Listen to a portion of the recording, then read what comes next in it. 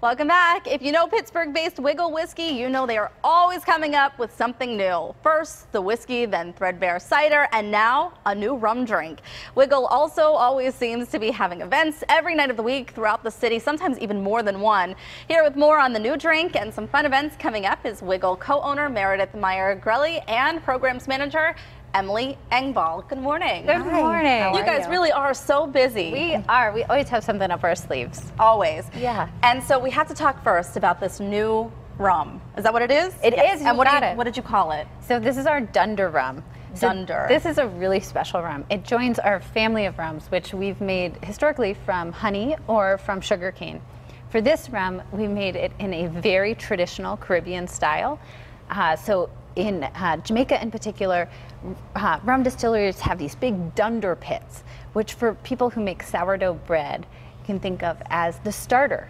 Um, so uh, to make this dunder rum, we created our own starter using enzymes from cheese mixed with molasses and we allowed that to ferment over time. And then we added that starter to uh, the rum distillate, the uh, blackstrap molasses. So just because it's coming from enzymes from cheese does not mean it's going to taste like cheese. It doesn't taste okay. like cheese. what it tastes like, what we get is, it's like adding, um, adding this dunder to our distillate is like adding compost to your garden or to Doug's garden. I see. Um, and it supercharges the flavors in the rum. So we get these beautiful fruity qualities, banana, brown sugar, molasses. Oh. And what's uh, what's a good mix with this? What are you are you making a special drink with it at your release party? Yeah, we'll be coming up um, with a number of cocktails at the release. Mm-hmm. Do you want to talk about the release party? Yeah, so um, we're actually having a two-part event. So Ooh, the first event, you are. yeah. so we're actually approaching this a little bit different. So we are doing an event on the Thursday before, and that's going to be a very inclusive event. We're bringing out one of our distillers,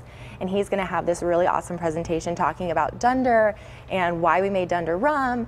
And then people are also going to be able to sample and kind of compare between our other rums that we have. And um, so that's going to be a $12 ticketed event. And then on Friday, we're having the official release, and that is a free event where you can come out, try it, live music, Cousins Maine Lobster food truck will be there. So kind of a bigger event on Friday. Is that so. this Friday? So that's actually June 28th and June, June 28th, 29th. Yeah. Okay, good to mm -hmm. know. Well, again, you always have so much in the works, and we love that you're providing so many fun events for the city of Pittsburgh.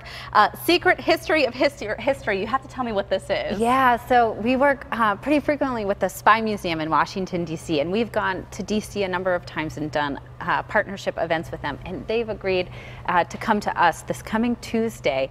They're sending two of their curators up to Pittsburgh to talk about Washington's secret spy network that oh. existed during the Revolutionary War. So these were uh, people who pledged allegiance to the King of England and all the while were spying on their British um, neighbors in America and sending that information back to George Washington. Interesting. Yeah, it's fascinating history. So um, so they'll be talking about that. They're also bringing the invisible ink, the technology that George Washington spies used. Wow. And the coded language that they use. So guests will have the opportunity to actually play with all that language and the ink that Washington spies used.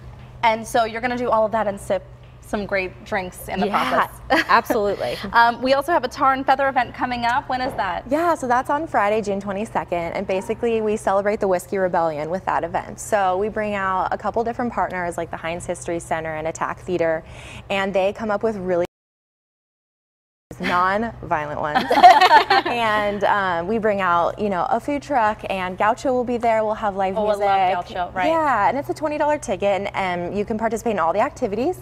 And then everybody gets to vote for their favorite activity and then the winning partner gets a bunch of whiskey. So it's Fantastic. really cool and fun. And that's something you've done before. Yeah, it's our seventh annual. So This is our big annual Whiskey Rebellion celebration, yeah. Well, I want to talk about another big event that's coming up for our dads, for the dads in our lives, the, the Old Man Father's Day event. Yeah, so old fashioned with your old man. So um, that is actually our at our distillery in uh, Smallman at the Strip District.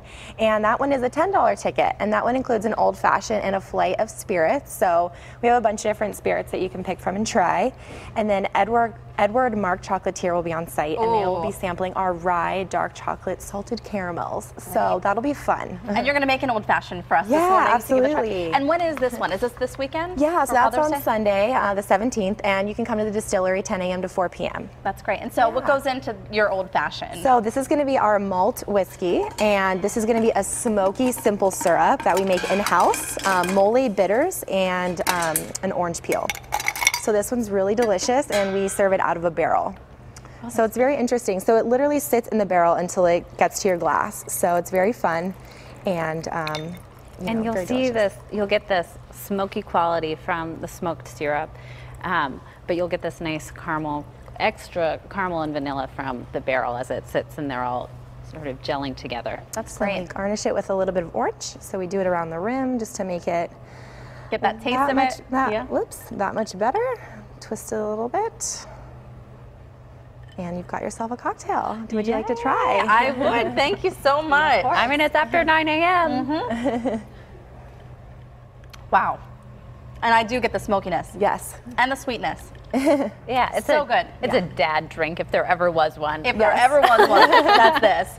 Okay, well, you can look for more on these events and the release party on the Wigle Whiskey website, and you'll find that link at kdk.com slash PTL. Cheers.